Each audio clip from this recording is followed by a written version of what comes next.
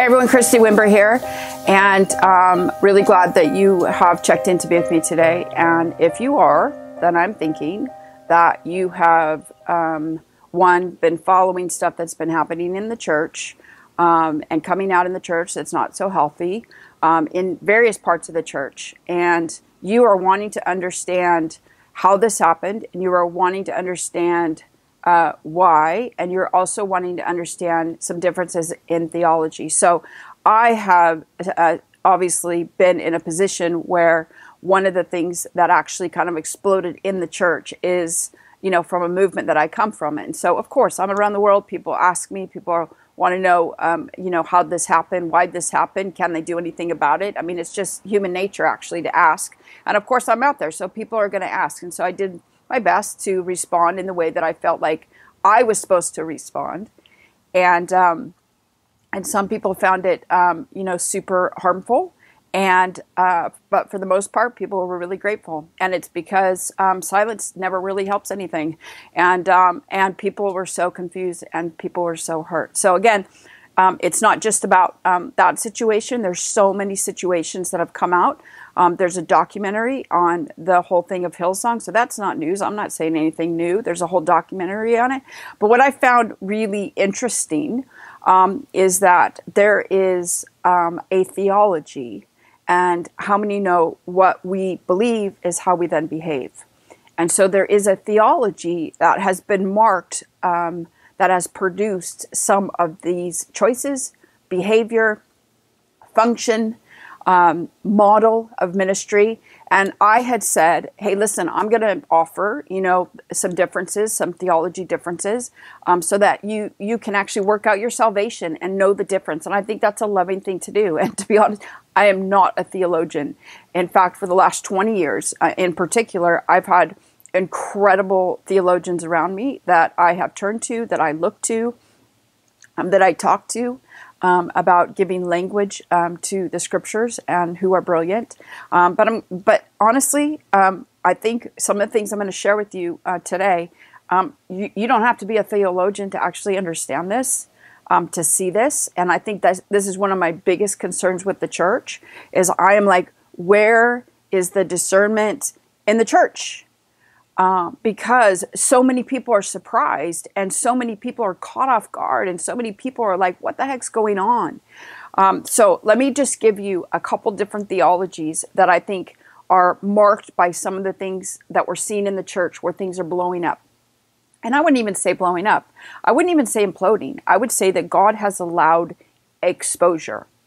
And so there's two different theologies here at work um, in what we have seen in uh, a handful of places that I mentioned in the last uh, several months. And that is one, we have the theology uh, that Jesus lived for us in his earthly ministry, marked for us, modeled for us. He was very clear about what we are to do as uh, the church. And I think sometimes the church complicates things that um, aren't complicated. Jesus came, Philippians 2 talks about that Jesus came that he emptied himself, uh, that he came as a servant, um, and that he literally modeled servanthood uh, to the disciples, who never got it, by the way. so I'm not surprised really for today. They were with him and didn't get it. Makes me feel better. Um, but he modeled what it looked like to serve. Uh, his last message to the disciples and to us were to wash the disciples' feet. So it was all about servanthood. It was all about um, dying to self. That really was the model that Jesus left. In fact, he said, I can only do what the Father shows me to do. So that is the ministry. And then he said, Go and, and make disciples. And so we have that's the, the ministry model of Jesus, so to speak, where he saw the inbreaking of the kingdom. The inbreaking of the kingdom is where I can only do what the Father is doing. Uh, and then he obeyed it. He didn't go ahead of it. He, he went out on the boat. He went to get away from the people so that he could just be with the Father uh, to hear. And then that's what he did. He did not actually, and I think this is really important understanding the difference here. He was in, he came in a time where the, the Ro- Roman Empire was massive. It was powerful. It was um, you know, it was all consuming. And here the people thought Jesus was coming, a king was coming, and that he was going to set them right. And then he was going to, you know, get rid of all these mean people and these abusive people and these powerful people. And that Jesus was going to establish his kingdom. And then they, they would have a position. And Jesus didn't do that. He came in on a donkey. Um, and he came in a manger. And he came, as I said in Philippians 2, where he came to serve. So he did not do what the people wanted him to do. He came to serve. He didn't heal everyone. He walked away from people. Um, he did not, you know, uh, model, uh, you know, some of this stuff that we're teaching today. This that I think is just so damaging. We're just seeing some of the fruit of it. So let's know the difference. So that, in a summary, is the model of Jesus. And I'm a believer that we're in between times. The kingdom of God is advancing, but we're in between where, yes, we have the power of the cross and the resurrection. We know who wins. Um, but until Christ comes again, we're in between this time. And in between this time, we're in a battle. And in battle, people get hurt. And in battle, people die. And in battle, um, you know, like there's some victories and then there's some you know think losses that's what battle is and that's i think the in between there's a tension here there's a mystery here the bible talks a lot about mystery um, and we don't like that as the church we don't like the, the mystery we like all the answers and we like everything to happen now so part of this other theology and i would give it language as in a conquer theology so you have the servanthood theology and then you have this conquer theology. Um, and this conquer theology, I would actually even put into the language of empire building and enterprise because that's how it works. That's how it operates. Um, that's how it manifests itself. Uh, and so we, we just want to know like how it's not like hidden. That's that's the whole thing here. I'm like, this is not hidden. This is like for all of us to see. Um, and I think that's a tough word to hear. I think it's a tough word to hear. Conquer uh, like in the church or empire or enterprise, but call it for what it is. Um, because that is what we're dealing with, and it's it's important that we educate ourselves, and it's important that we learn ourselves, and that we're also teaching other people. But I'm going to give you some examples of how this operates and the fruit of it. And some of you that are listening, you're going to be like, "Oh my gosh, this is what I'm encountering," uh, from both theologies and it's going to help you and it's going to challenge you and it's going to educate you. And my encouragement to you is to take before jesus and ask jesus what's true okay? That's i think we need, need to land there. One of the fruits of um, a conquer sort of theology is that if god told me therefore it is. There's no dialogue there's no conversation there's no conversation because this theology is set up and it uses the fivefold um, you know ministry which i actually believe in but not like this. It, it believes that the apostles are untouchable. It believes that they are, you know, they, they put themselves in a position where they are to never be questioned. Um, I've seen this many times over. So this isn't like, again, hidden. This is how it functions. And that the, the apostle and the prophet, and, and honestly, that there's this whole thing of honor, and but it puts man in a position that man should never be. And it's why we see so many people like falling off that pedestal because we're not made for pedestals. Um, but that is the theology: is that, that the the possible apostle, whatever he says, it is. And so, if you think of yourself as an apostle, and how many know anybody can go to the store and actually get cards and make yourself a title, say, I'm an apostle. Like so many people hand out cards of what title they have. Doesn't mean they have it.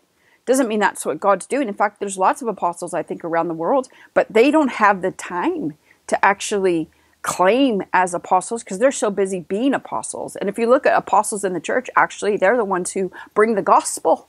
They are the ones who set the church right. They, they are the ones who actually bring people together and they multiply the church. They're massive church planters. So there's lots of apostles around the world. But this theology in particular is more of a platform apostle. And when somebody says, God told me, and they see themselves in a certain light. There is no questioning that. In fact, questioning is to question the man of God. And not a lot of women in there either. But it's like to question that person is to question God. I'm telling you, it is that serious, and it, that is how it operates. But it's not scriptural. Proverbs 8, uh, 2018 says, Plans succeed through good counsel. We don't go to war without wise advice. And uh, the kingdom of God is war. We're born for war. Um, and we get counsel. The Proverbs is full of verses that actually tell us that without people, without counsel, we don't succeed.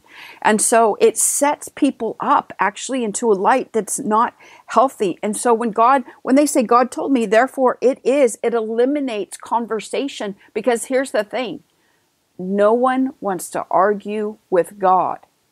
When people say, God told me, it eliminates conversation, and that is not godly. And where there's no a healthy accountability and dialogue, what we create is we create independent, ego driven leadership, and power without accountability creates tyrants. I don't care what label you put on it.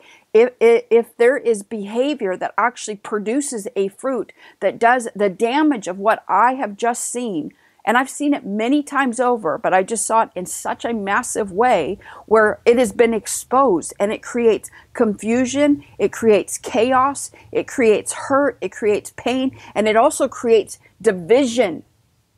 And so, real apostles bring people together. Shepherds, actually, the role of shepherds bring people together. We need to get back to the shepherds of the church. It's almost like where they've been devalued. And if you look at scripture and like what God said, shepherd is mentioned way more times than apostle. Let me just say that. And so, where there's no accountability, it's not healthy. Second thing here is when somebody disagrees or there is any opposition, it's persecution. So you can't really say anything because they've set themselves up. Like, if God's told me this, this is God. And if you speak against me, it just shows that this is God all the more because look at the persecution. So they'll tell the people, look at all the persecution, look at all the opposition. Do you see how everything is twisted? But I'm going to tell you, my friends, there is a big difference between persecution and consequence. And what we are seeing in the church is not persecution. Exposure in the church of what's happening in all these places is not is not persecution. This is consequence. It is consequence of here's the thing of what we have empowered in the church. So I said this in my videos when I was even saying about, you know, people that, you know, like came in, they, they took a founding church, they took it out of the, the movement, they took lots of money, lots of money, lots of, you know, selfish choices and all that. But here's the thing, it was empowered. And what these, what, what, what people do is when they have a conquer theology, they have to look for people that they can manipulate. And they found them. And what they do is they give them a little bit of money and they give them position.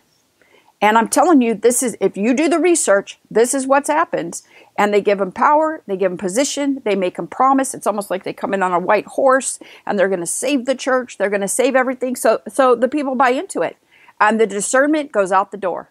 The discernment goes out the window. So this is empowered. The only way we see the fruit that we're seeing in the church is because it was empowered by the leadership, it was empowered by the elders, it was empowered by the people. And we as the church have to stop empowering this stuff because the fruit of it is so damaging. I can't tell you how damaging this is. I know so many of you are actually listening to this knowing how damaging this is. So you can't say anything in this context because every point of opposition is warfare. And so everything just gets twisted. It's very, very confusing. And so that posture of, you know, kind of like being questioned, it, it just, it's not, it doesn't happen. But here's the thing we find in the scriptures where God raises people up. Remember the prophet Jeremiah, where God called him into the system and he, and he was called to speak to the, the people of God in the system. And he said, do not be deceived and do not use the temple of the Lord. And you know the, the people's response? Kill the messenger. Like that's what we do. We kill the messenger. So when God raises people up and they're like, hello, like this is what's happening. You know what we do as the church? We kill the messenger because we don't like it. It's uncomfortable. It shows us where we failed, where we weren't discerning. And my encouragement to you is like one of the best ways that we grow up as the church is we acknowledge what we are missing. And I'm telling you, this the this, this whole thing I'm sharing Two decades ago, I went to parts of the church and said, This is a theology that's coming back into the church. It is very damaging. We're going to see the fruit of it. It's going to be super hurtful to the church. And you know what? They didn't listen to me. It's not about me. I'm used to that. I'm used to people blowing me off left and right. But I knew it back then. And I, I, it broke my heart because I knew that we were going to come into a day when the fruit of this was going to be so incredibly uh, hurtful. I didn't know it was going to hurt, uh, hit me this close to home. I'll tell you that. Um, and it hurts me, but actually I'm fine because I knew it was coming. Um, it hurts me for the people that I love. And the people that I see are all over the place, confused and trying to like, you know, navigate chaos, which really doesn't work. The third thing is, is the theology focuses on more building leaders rather than disciples.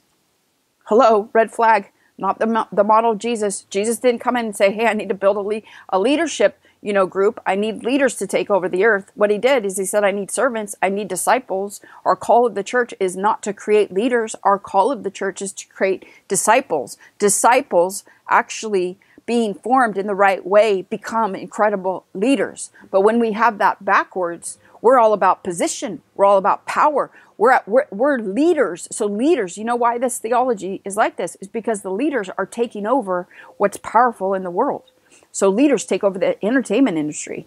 Leaders take over the, the political system. Leaders take up, do you see? And we're going to position ourselves for power. It is the opposite model of what Jesus left for us. He said, Go and serve the least of these. Go and serve those who actually don't serve you back. There's nothing about, uh, you know, kind of building ourselves for position or power or taking, conquering, you know, systems in society. There's nothing about that. That's all man made theology. The fourth thing is, is that there's an emphasis uh, that we have the power, I have the power to create heaven on earth. Now, this is a big one. And I'm like, oh my gosh, Lord, are you sure you want me to say this? But yeah, because it's part of this theology and it's not hidden, uh, you know, again.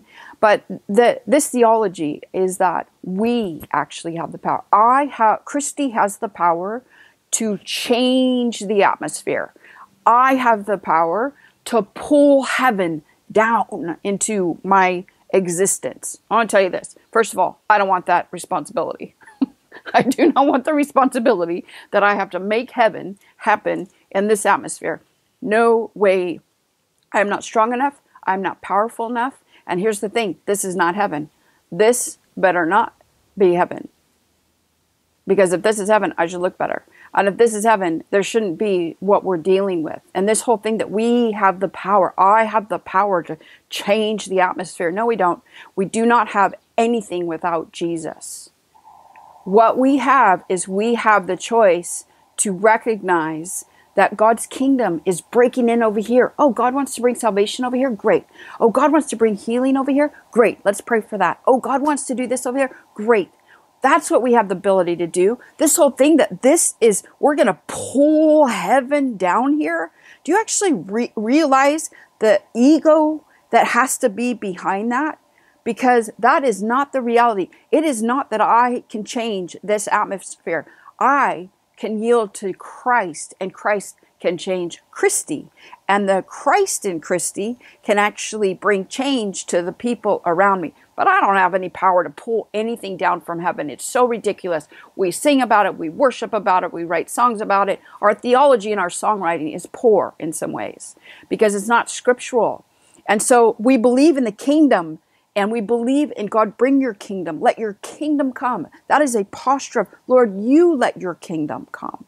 That's not a posture of, I got to pull that thing down here. Do you see? That's pretty exhausting. But I'm telling you, that theology has gone like rampant through parts of the church, charismatic church, and it's even made its way in other parts of the church. And now we're seeing the exposure and the damage of that conquer because it has to use people, it has to manipulate people because it's building an empire. And whatever we as the church, my friends, whatever we build in our own power, we have to maintain. And whatever God builds, He cares for. That's the difference. And this whole thing of that we, we have to make it happen, that means you have to use people. There's nothing in the Gospels where Jesus used people to advance his ministry. There's no usury mindset. And where people are used, which I know so many of you are listening to this and you have been through this and you feel used, and people have like, you know, promised you if you honor me, then I'm going to honor you and you're going to have position. But it's it, that's a thing in you where you, you, it's your ego that was getting fed. It's a manipulation actually of the spirit. It's it's very it's very damaging in in different ways. But I just don't I don't think this is healthy because behind this theology and what has made me nervous is that this whole heaven now uh, theology and bringing heaven down and all of that is that if God can do it, then I can. That's how it's made me feel. Like I feel like I've stepped into places where that that theology is happening and it's at work. God can do it, therefore I can do it. And it has made me so nervous. I want to tell you, my I am not God, and I am fully aware that I am not. I'm fully aware that I cannot do anything without Jesus. And some days they'll tell you that that's what they believe, but it's not how they practice. And you have to, and we have to, as the church, look at the at the theology and the behavior, the methods, the methodologies. We have to look at the fruit and what it's producing because the fruit is an indicator of what's going on in the root system. Isn't that true? So, finally, the fifth thing in this is that usually in a conquer theology, you are going to find exaggeration. You are going to find exaggeration on how many people get saved, exaggeration. Pastors sometimes just have this gift, so you have to separate that. But you're going to find exaggeration in how many people get healed. You're going to find exaggeration like we have no disease in the city. We have like think we have changed the city. We have brought everybody to salvation in the city. You're going to find all kinds of of exaggeration, and you know why? Because they're trying to build a uh, reputation and they're trying to build a belief system that what they're doing is bigger than what it actually is. It's never as big as what it is. And here's the thing about the internet with the internet, everybody's big. And with the internet, everybody looks a lot bigger than what they actually are. And exaggeration has become a spiritual gift in the church. And exaggeration, and here's the thing you have to exaggerate because if people aren't getting healed, and here's one of the really hurtful things of this theology if people aren't getting healed, then something's wrong with you because your faith is not enough because you should have the power to pull heaven into that reality. And if that's not happening, that's on you. I've heard all this stuff firsthand. Like people that I love have died because I, we dropped the ball. We didn't have enough faith. I mean, like I've heard it firsthand. It is so damaging. All the people that didn't get there's no theology for suffering. I tell you one of the stories that I heard uh, about one of these these places that the Lord's allowed great exposure and um, he literally put a guy up on the on the platform and said, "You know what? You know we've been you know talking about healing the sick and praying for the sick, and but I want somebody to come on staff that actually heals the sick." And I'm like, I heard that story enough times where I'm like, first of all, when you heard it, why are you still there? Why did you? That shepherd is telling you that one, he's not a shepherd, and two, he's not safe. He's telling you that he has a his ego spilling all over the place because he actually believes that all of this stuff that all of healing all of heaven all of the power is not just you know in in the church it's on him. And so he has the power to bring the right person in. And that is like a flag. That is telling you. When somebody tells you who they are believe them. And when they keep repeating it believe them. That is such a damaging theology. And i'm telling you there's no theology of suffering in this conquer theology because everybody has to get healed. There's no theology for pain. There's no th- in fact it's not talked about it's kind of brushed under the rug. Like that didn't that didn't really happen. And there has to be a miracle around it. Um, because they have to maintain that theology to people, that persona to people. It's very sad, actually. Um, but I'm gonna, I'm to finish with this. My friends, we have seen where God has allowed exposure in these places, where there's been documentaries, where there's been articles, where there's been lots of articles and lots of things that have been exposed. And God is the one who exposed people's agenda, people who were aligned with it. And one of the saddest things that I have, uh, and frustrating things that I have learned with the church is that one, some people will still stay with it. They'll still go there, they'll still be a part of it, and they'll still think that what they're doing is the most important thing and they're going to change the city and all that sort of nonsensical you know crap is really what it is. Um, and especially the young people is that they don't know because they get pulled in and they get promised all this stuff and they don't know the difference. They don't have the discernment to know the difference yet. Um, you got to follow that check within you because that check within you is telling you what's right and what's not right. And you got to follow that because when you belong to Jesus, that check is God's Spirit identifying with uh, with God's Spirit that you belong to Him, and He's going to tell you when things aren't right. And if you keep ignoring that, it's going to go numb, and it's going to go where it's it's going to be like just not a part of your life because you're following another spirit. How many know there's a lots of different spirits out there? So the enemy has power to heal. Let's separate this. The enemy has power. Period. So when we look at power, when we look at miracles, when we look at signs and wonders as all being God, doesn't mean that it's God. Just because something has good in it, this is why it's confusing for people. Just because there's some good in it doesn't mean that it's good, doesn't mean that it's godly. The enemy has power. Like we have to see things for what they are. We need the gift of discernment, my friends. We need the gift of discernment because the damage of what we've seen come out in the church and all of the people that have been on the side of the road who are like, I, I will never have anything to do with church ever again. Like, you don't think that that's happened? That's absolutely happened to so many countless people and so many people that it's going to happen to. And then we as the church have a responsibility. I'm going to tell you this if you are a shepherd, you have a responsibility to say when things are not healthy in the pasture that you're responsible for. If you do not say, hey, there's wolf behavior around us, you're basically, as a shepherd, just saying, come on in and eat the sheep. It's very sobering to the shepherd. And it's very sobering for us to wake up as the church and to recognize the fruit of what we are empowering. And the sad thing is, is that some people will still be a part of this and and of this theology and practice and some people will actually be a part of it and they'll they'll later down the road be super um, hurt discouraged disillusioned some people will never get it because there's always that group But, but the truth is, the damage, I cannot even tell you the damage that has happened. But I'm like, church, like God has allowed this exposure to happen. And the sad thing is, is that even when it's in front of our face, we don't even want to see it. We actually don't even want to believe it. And so, yeah, some people will still do it. But I, I find that really sad that you will be a blind sheep and that's why sheep are not the smartest of animals. Sorry, but like for you to just play like this isn't happening or do the research yourself, you are not working out your salvation. We are in a time where we are bombarded with theologies and methods and methodologies. And if, as a believer, you are not doing research of what you are a part of and where God has called you, and the leader is not fully um, humble and servant like, and um, you know just tells you what to do and how it's going to be done and what you're doing wrong or is building his kingdom then you know we are all going to stand before god one day about how we handled um, what he taught us to do. We are going to stand before the lord on how we acted as a disciple. Like this is like really important that we understand this and that we are feeding the right things and we have to stop feeding this stuff that actually produces such damaging uh, behavior and consequences. That would be my challenge. That would be my encouragement. Those are some of the insights. There's more, but these are like scriptural. So uh, we just open up the Bible. Sometimes we just got to open up the Bible. We got to ask the Holy Spirit, who is our teacher, to teach us and show us the difference. And He will.